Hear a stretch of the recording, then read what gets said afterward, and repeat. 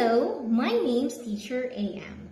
I was born and raised here in the Philippines. I'm a graduate of Bachelor Science of Business Administration, major in Financial Management. On my free time, I love traveling, reading books, and watching Korean series. I've been teaching online for about two years and I do have a TEFL certificate.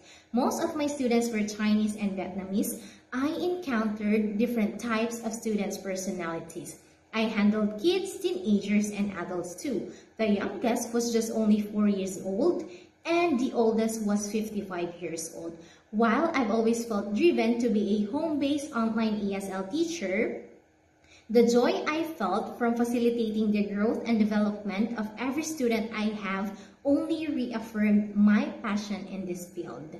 Although I'll continue to hone my teaching skills as I work online, I believe that my enthusiasm, positive attitude, and my experience working with students will make me an excellent educator. As a teacher, my goal is to help every student improve their English skills, both written and orally.